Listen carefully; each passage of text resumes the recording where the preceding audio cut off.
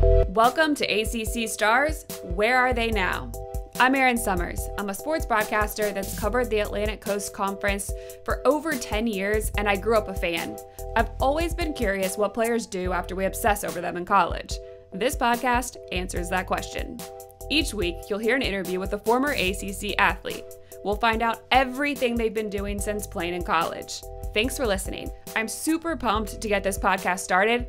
Let's jump in to ACC Stars. Where are they now?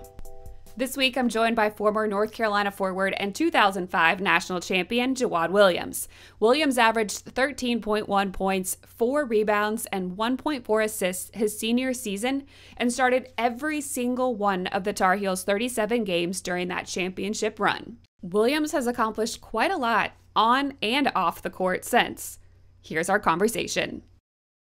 Jawad, thank you so much for joining us. I want to start things off with how are you doing and where are you calling in from? I'm doing great. Uh, I'm calling in from Sapporo, Japan. Uh, so the, one on the, on the northernmost island of uh, Japan, uh, island called Hokkaido, city called Sapporo. That's pretty incredible that you're in Japan playing basketball, considering everything that's been going on with COVID 19. I know there was a hiatus for a little while. What does the season look like now? Well, we get ready to start the next week after we shut down the last season, which was March 29th. We're starting up the second season already, and we already have fans in the stands for preseason games. Uh, the facilities are not full, but we have a good amount of fans that show up to every game. And uh, right now, we, we're ready to go over here. You've had an incredibly long career playing professional basketball, but let's go back to where it all started. You're from Cleveland, Ohio. You have an extremely athletic family. What led you to play basketball? Uh, it actually came from watching my older sister play. My mom played. Uh, my older sister, she ended up playing at Vanderbilt. She played professionally in the ABL. And, uh, that's where my passion came from, watching her play. I was, you know, being drug around the city, watching her play in different leagues and everything like that. She dominated. Uh, I just wanted to be like her growing up. You were an AP Player of the Year, Gatorade Player of the Year for the state of Ohio. You played in the McDonald's All American game. Why were you so good so early in your career? Uh, probably because of my background more than anything. Uh, come from a pretty tough background. Uh, my, my family being athletic outside of just basketball, uh, come from a boxing background as well. My father was a professional boxer as well as my brother. They both were Golden Glove champions.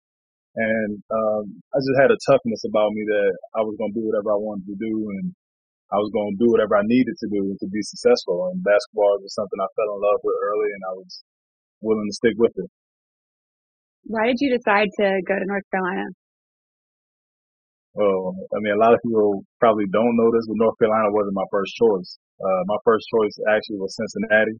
I really wanted to play for Bob Huggins that at the time they had a 0% graduation rate and my parents were not having me go there.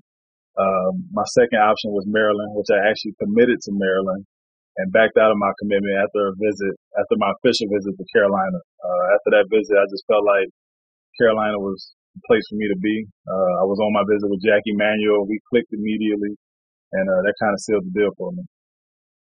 You came into Carolina under head coach Matt Doherty the transition from playing for Doherty to Roy Williams, what was that like? It wasn't that big of a transition. It was more so we needed to learn to mature as as a, a team. Uh, we were super talented. Uh, Coach Doherty recruited most of us, and you know we just needed to find a way to mature and grow together. And uh, when Coach Williams came in, he put everything in perspective and told us that if we all did what we were supposed to do, everyone would be successful. And that's kind of how everything happened. Yeah, in 2005, you won something called a national championship. Looking back on that year, what stands out to you the most? Uh, just our friendship, our bond. Uh, that bond is still strong to this day. Uh, we all communicate with each other on a daily basis pretty much. Uh, everyone, our kids are growing up together and that bond that we had back then is even stronger today. Who were some of your favorite players to play with or against in college? Uh, play with for sure. I mean, that, that's a hard list right there. You know, all my teammates were pretty much great. Uh, guys playing against, I would probably have to say Dan Ewing from Duke, uh, just because we've known each other since we were 14. Julius Hodge, same situation. We've known each other since we were kids playing the AAU ring. So probably those two guys, uh, were the most fun to play against. Roy Williams, as a head basketball coach, what stands out to you about the way that he goes through his, his coaching and the way he cares about his players? uh, first coaching is attention to detail. Uh, he makes sure that everybody's on point with whatever, whatever job they're supposed to be doing. We're going to get it done, uh, under him. And, uh, as far as his care for his players, I mean, he made sure everybody was taken care of. I mean, that goes beyond just playing at Carolina. I mean, I'm a guy who lives in the area. So I'm at Chapel, I'm at UNC Chapel Hill every day in the summertime. And I still have full run of the facilities and everything else I need. Um, and that's, you know, part of the culture that he helped build what is it that has brought you back to Carolina and had you kind of establish your life there? I never left. That was the thing. I never left. After I graduated, uh, Carolina has always been home base. Even when I played in, uh, Cleveland for the Cavs, I still had a home in, in, uh, Durham. So I never left. It, it was, I didn't, it's a great place to raise a family. My wife is from Mount Olive, North Carolina. So we stayed close to her family and, uh, it's just always been a second home for me. Everyone talks about the Carolina family. What does it mean to you? Uh, it means a lot. I mean, you got a, a group of guys who've been through the same struggles, you know, walking those, walk those same halls at Carolina. Um, and, uh, it's just the bond that we have. We're able to grow together. Uh, that's the biggest thing. We're able to grow together. We have families. We get together consistently. Um, it, it means a lot. It means a lot to be a part of that family. After winning the national championship, what were some of your goals knowing that you had finished your college career? Um, well, of course, my goal was to get drafted. I mean, that's every player's goal to hear his name on draft night. Um, you know, going leading up into that process, I was hearing I would be a late first, early second round pick, and then to not hear my name at all was kind of shocking. Um, but the last thing, I wasn't gonna let it get me down. Uh, a lot of my family and friends around me, they were more upset than I was. I knew I was going to get there. It was just going to take a little bit of time, and um, there's nothing new for me. I knew I was going to work my way through it. After you signed that free agent contract with the Clippers, you played a couple games. Uh, you ended up going overseas. What went into that decision to play overseas, and, and why have you stayed so long? Uh, I actually was over the NBA at that point. I got tired of being the last guy to get released from the roster. Um, that last stint with the Clippers, uh, cut time was three o'clock. I released at two thirty. Literally, I was the last guy to get released. And I, you know, I got, I was over it. I was just, you know, I'm ready to move on with my career. And I was like, well, the NBA may not be for me. And, uh, I had been out of the country a couple times. I've been out of the country once at that point. I was like, I have no problem going back over overseas and, uh, making a life for myself. And that's what I did. You've been to so many different countries. What have been some of your favorite stops? Japan, of course. Uh, that's why I came back here. Uh, Turkey was great.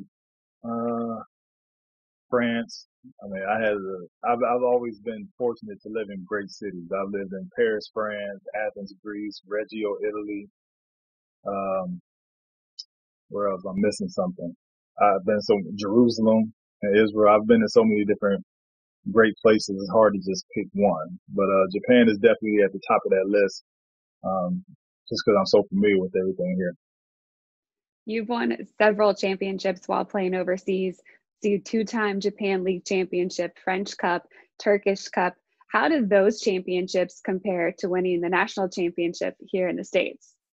Uh, winning the national championship is, is a totally different thing because when I won then, it was over. Like that was it. You know, you only, you put your name in the history books and never changes uh, winning out of the winning out of the country and abroad is is a little bit different. You know, on a professional level, you know, you win, it's great, people remember you, but it's not the same. It's not, it doesn't hold the same amount of weight as it does on the collegiate level. So, are you saying that people still recognize you here in the United States? A little bit. You know, I get a, a few people recognize me every now and then. You have played for 16 years professional basketball. How much longer do you want to play? I'm going till 40. Uh, when I turn 40, I'll probably hang it up. Um, I've already had people try to talk me into going a little bit longer, but I don't think my wife is going to have it. Uh, so probably at 40, I'll be done. Was that always your goal? Yes. I set that goal early. I'm a big believer in, uh, speaking things into existence and, you know, being careful with the energy that I put out into the universe. And, uh, you know, a lot of guys say when I turn 31, I'm done and they get what they ask for. So I always said I'm going to play until 40 or until I can't play anymore. I mean, it's, I only get to do this once. You know, once it's a once in a lifetime thing, and I plan on living it up. While you were overseas, you were reunited with some of your former teammates from Carolina, fellow national champions David Noel and Sean May. How exciting was it to be able to play with them again? Oh, that was very exciting. Uh, they kind of kicked that off. They did kick that off. Uh, after I left Cleveland, I had the option to either keep chasing my NBA dreams and making rosters on minimal contracts, or I can go solidify myself in Europe. And Dave begged me every day to come play with him in Paris. He's like, "It's Paris." He kept telling me it's Paris. Like, just talk to talk to your wife about it. You know, we all know each other. We all went to school together. And his wife called my wife, and then we just we, it was Paris at the end of the day. So we ended up signing and going over there, and Dave kind of led the way. He was a trailblazer in that aspect. And then when Dave went to another team, I recruited Sean and we try to get as many guys as possible to come play with us in Paris. Our coach was all for us recruiting other Carolina guys. He wanted an all Carolina roster, and we worked on it uh, until we couldn't do it anymore. Why was he so keen on Carolina players? Because he knew what type of characters he was going to get. Um, but outside of basketball, he knew we can handle living in Paris. You know, a lot of people can't handle living in a place like Paris, but we knew we were professional athletes. We knew we had to uh, control ourselves. And he knew, like I said, the characters he was going to get. And um, when we couldn't get a Carolina guy, we reached out and got other guys that we knew. Like I said before, two guys that I reached out to and had them come play with me were Dan Ewing and Julius Hodge. They ended up being my teammates as well. And Elton Brown, also from Virginia. So I reached out to other ACC guys that I knew and trusted, and I knew they can handle the work. So now you're on the same team as some of these ACC opponents. Was there ever any banter about some of those old games or times when you used to be on the opposite sides of the court? Oh yeah, we we still went at it. We always talked about you know what happened in college or who would have won this matchup or you know things like that. Especially with Elton Brown, he was he was a character man. So his his mouth got UVA in trouble a couple times against us. So we just get him a pass every now and then to let him talk. How much fun is it for you to, to, look out at the Carolina family and see all of these former Carolina players, the success that they've had, whether it's on the court as a player or possibly as a coach, like Sean May is now with Coach Williams at Carolina? I love it. I love it. Uh, especially the guys who are doing things outside of basketball. Uh, it's fun. Well, not outside of basketball, but outside of the court. You know, you got Jackie who just took the job with the uh, UNC women's basketball program, Sean with the men's program. But then you got guys sprinkled everywhere. You got uh, Wes Miller, Jesse Holley's the AD in Texas. You got guys doing a lot of different things, and I think that's great for us. And um, we just got to continue to build our tree and you know reach back and pick each other up. Speaking of Wes, I've heard this little rumor that he wants Roy Williams' job when Williams is done coaching at Carolina. I don't know if you heard the same thing. Uh, it's a possibility. I heard the same rumor. Uh, I think that that job is there'll be a lot of guys gunning for, and I believe Wes is in that conversation as well as some other great candidates like Jerry Stackhouse and some other guys. Uh, my hope is just that the job stays within the family. Simple as that. I don't want an outsider coming in and you know taking over because they probably just it's just to me they won't understand how things are supposed to work you know, and how things have been running like clockwork there. Like for myself, example, for example, I come back to Chapel Hill, I have free run of the facilities. I couldn't imagine somebody telling me, hey, you can't be in the gym at this time, or hey, you can't do this. I couldn't imagine it. So hopefully it stays within the family, and uh, whoever gets it, I'll be happy for them. So basically, you just want free run of the gym. So it's all about pretty you. Much. Yeah. Pretty much. Yeah. pretty much. But I'm I'm not, I'm only one person. I know a lot of guys feel the exact same way. Uh, we all, we're all in there every summer, all day long. So we got to make sure we have things, we got to make sure it feels like home. That's all. What are some of those summer pickup games like? Uh, competitive, um, very, very competitive. You get to see matchups that you've never seen before. Uh, you know, that's the biggest thing. We push each other to be better. Uh, it's always fun going back and, you know, the younger guys think that you're too old to still play and things like that, and you got to put them in their place. And I, I love it. You know, this summer has, you know, put a a freeze on everything because of COVID. We had to take the proper uh, safety, take the proper excuse me, take the proper safety tips and just stay away from each other. But uh, other than that, those pickup games are legendary. You know, I've seen some matchups that I never thought I'd see before, and uh, probably won't get to see again. Can you share any of those matchups that really stand out to you?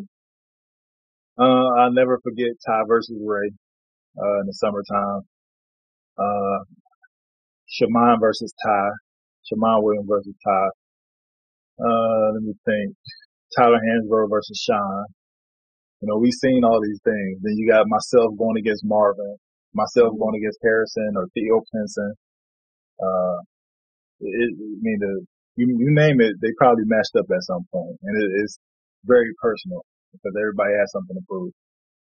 Was Theo one of those guys that was chirping at you? He kind of seems like somebody who would be talking some trash. of course, Theo's always been that guy, but that's why I love Theo though. I, I love Theo from the time he stepped on campus. Uh, he was always that guy who was running his mouth. And the next guy on my target on my list is uh Leaky Black. I've been I've been trying to get get at go after Leaky for a while now. I think he me. Why do you think that is? Because he know what he's getting into. I think like people confuse people confuse what they've seen on TV TV with you know basketball with no restrictions. It's a totally different ball game. And uh you know me and Leaky, I always call him out every time I see him, but we haven't had a chance to really match up. When we do, I'll I'll let him know what it is. Okay, you're gonna have to give us an update after that. Let us know no, if it was no uh, you that came out on top. It will be. It's not a question. I'll tell you that now. I have a date for you, December 12th, 2008. Does that mean anything to you? December 12th, 2008. December 12th, 2008. I'm trying to think. 2008, Where were you? 2008. I was in Cleveland right? Mm-hmm. mm-hmm. December 12th, December 12th, December 12th. Might have been the first game I played, or the first game I actually scored or something. I don't know. What was yes, it? that's right. The first game you oh, actually okay. you scored your first NBA points in. Gotcha. Yeah, yeah. That that that day is special to me. That moment. Um, I just remember checking into the game. Game was pretty much over, and I remember uh, Coach Mike Brown yelling, "Give him the ball." And then when I got it, I was like, I had to score. I was like, this is first time I'm checking in and I'm in front of my hometown and I scored. But the best part about that is when I left the court uh, to meet my family in the back tunnel, my grandmother was there. And my grandmother hadn't been to a game probably in my entire life. And that was the first time she first time she seen me play was in the NBA game and I scored my first NBA point. So that that moment right there was pretty special for me. Speaking of being in your hometown, being able to play a few years in Cleveland had to have been pretty special. It was. It was. Uh, it just gave me a chance to be around my friends and family who I've been away from for so long because I was playing overseas and, and because I lived in North Carolina. I got to reconnect with a lot of people I grew up with. Uh, and the biggest thing for me was I always felt like that moment was more important for the kids in my, my neighborhood where I grew up. I spent most of my time down in my, my old neighborhood, not to show off, but to show kids that they can do it too. You know, um, they don't see too many NBA players walking around, and for me to actually grow up and uh, playing Glenville Rec Center and things like that, and they see me there every day, you know, I, I think it meant a lot to them. It's something that's stayed with you. You've started a nonprofit. It strives to excel. It's right there on your T-shirt. What went into starting that? Uh, it actually started with my cousin.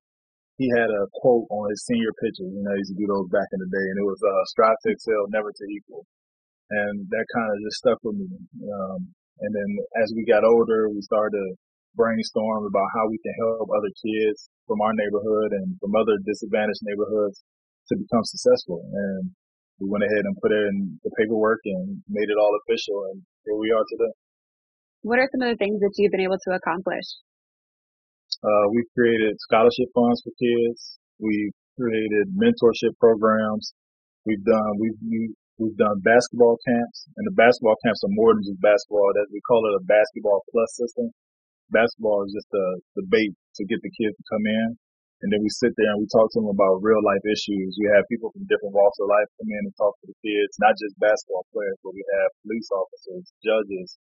Uh, you think about it, we have them come in and speak to the kids. Um, we've been able to do so much, and my next step is uh, I want to do affordable housing. So we're working towards that now. And it's all based in Cleveland? No, we do a lot of work in Durham as well. Um, anywhere that needs help. I mean, if I, if I have a connection there, kind of tap into that connection and see what, what's needed and we move on from there. That's great. I really look forward to seeing what you're doing in Durham and keeping tabs on you in the Triangle. Now, you are also a published author. You have been writing children's books. What inspired you to get into that field? Uh, just to leave a leave something behind for my kids that they can look back on and be like, our dad did that for us. Um, my kids have lived a very different life. Uh, they grew up pretty much traveling the world with me, uh, especially Nyla, my oldest daughter. She's gone to school in Paris, uh, Japan, Athens, and homeschooled in Turkey. And Nash has been to school as well in Turkey and and Tokyo as well. So, you know, my kids are living a very different life, and uh, I just wanted to document everything for them and hopefully share their stories and encourage other kids to get out and travel the world. Because that's the biggest, that's the greatest form of education is being able to be exposed to different cultures and different things. How many more books do you have in you? Well, I got two more so far on this Nyla Nash uh, series. Um, I'm working on my autobiography as well. And I know I'm going to have to come up with something for my twins when they get older and they look back and realize they don't have a book. That could be an issue. So I'm uh, working on a book for them as well. What is going to be the focus of your autobiography besides you? just, just telling my story. Um, a lot of people don't really, they get caught up in they forget that there was a life before Carolina basketball. That's how most people know me. Uh, there was a life before the Cleveland Cavaliers. It, it was a process getting to that point. Um, they don't know about me growing up on St. Clair and Eddy Road in Cleveland, Ohio, and uh, you know that the trouble that brought. Uh, just trying to survive everyday life and, and make it. And uh, people don't know that story. I feel like a lot of people can relate to it, especially the kids who grew up in my neighborhood. I know they can relate to it, and I feel like it needs to be put on paper. What are some of those challenges that you dealt with growing up? Um, well, we grew up in the inner city of Cleveland, which is, if you know anything about Cleveland, outside of uh, Quicken Loans Arena or whatever it's called now, uh, it's a it's a totally different world. Um, it's a pretty tough neighborhood. Uh, it's just it's not for the, the weak hearted. You know what I mean? It took a lot for me to persevere to get out of there. And uh, for example, for me to get to high school every day, I had to get up at five fifteen every morning and take an hour and a half bus ride just to get to high school because I couldn't go to my local high school. I could have, but I don't think it would have benefited me uh, being in that environment and you know with so many traps that I could have fell into. So you touched on Cleveland, but didn't really get into the team that you played on there what were some of the moments that stood out, maybe some of the players that stand out to you from that Cavaliers team? Uh, well, first, I think a lot of people know I played with LeBron for two years. So uh, yeah, I was gonna was let you bring that up. This is about yeah, you, not LeBron. yeah, I know, but know, everybody that's everybody's talking point. But yeah, I played with LeBron for two years, played with Shaq for one year, got the team up with a couple Carolina guys and Danny Green and uh, Antawn Jamison for a little bit. Um, those teams were very special. Uh, everybody that I knew that played in the NBA as well was telling me that wasn't real life simply because we all got along. Uh, usually when money gets involved, uh, guys become distant and selfish, but that team, those, those teams and those units that I played with, we never had any issues and everything went smooth. Do you ever tell your kids that daddy played with LeBron? They know, they know, they, they, I have the old 2K games and they pull them up and they play with me all the time on the game. So they know and they've seen pictures of me and LeBron together. Uh, Nyla, my oldest daughter, she's met him a couple times. So yeah, they know. To you, when you look at a player like that, what is it that's made him so special? Uh, probably his work ethic. I can remember vividly like those days when I was in Cleveland. I was always showing up. Now I'm the 15 guy on the roster at the time. I was showing up two hours early to you know eat breakfast, work out before practice and everything. And he was showing up an hour and a half. So he was getting there 30 minutes after I would get there, and we would work out together. Um, that really stood out. I mean, he's a guy who he can just walk on the court whenever he got ready and still be probably the most talented player in the world but he actually put in the work, and uh, that was something to see, and it was something to model myself after. Have any of your kids gotten into playing sports or shown interest in a particular sport as they've been growing up? Uh, my oldest, Nyla, she's heavy into soccer, so I think she will stick with soccer as long as possible. My son, my five-year-old son Nash, she's big into uh, basketball, but he's also picking up football a lot lately. He's been talking about he wants to play football. I'm not sure if I'm gonna let him do that. Uh, probably stick him in flag football for a while. You know, I don't want him to. I have too many friends that, you know, suffering now from the football that they played at young ages. So I'm gonna keep him away from the, you know, hard contact sports for a little bit. But uh, those two so far, soccer and soccer, basketball, and football. What are your thoughts on allowing all of the teams that play into the NCAA tournament?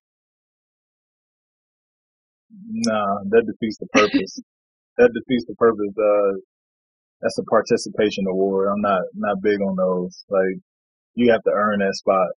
You know, you should earn the right to actually be able to play in the tournament. I mean, just make it because anybody can get there and get lucky for one night. If you're 0 and 22 and then you make the tournament and then knock off the number one seed, that's just terrible. Like nobody wants to see that. So yeah, I am not for the participation awards. You have done so much in the basketball world as an author, as a nonprofit. What are some of your other goals that you want to achieve? I don't know. I got my hands in, I want to get my hands in so many different things. Uh, I want to get into real estate, uh, developing real estate. I want to get into, it's just so many things. I, am knocking things off my list. I wanted to become an author. I did that. Now I'm just finding new things to get myself into. And it's moving along. And the biggest thing is I want to make sure I leave a legacy behind for my children, my family, and other kids, a blueprint for them to follow to be successful. Looking back on your basketball career, your life, what is what you would consider your biggest accomplishment? Uh, for sure, the family, the family that I've been able to raise. Um, I have a wife. We've been married for 11 years now. Um, have four children. You know, that's that's an accomplishment in, in itself. Um, that's my biggest accomplishment for sure, is being able to raise a beautiful, healthy family. I really appreciate you talking to me. It's been really fun catching up, hearing about what you've been doing since Carolina. And I wish you the best of luck in the future and on your way to playing at 40. Thanks, Erin. I appreciate it. Thanks for having me. Thank you so much for listening. Make sure you head to accsportspodcast.com each week for the latest episode or subscribe wherever you get your podcasts.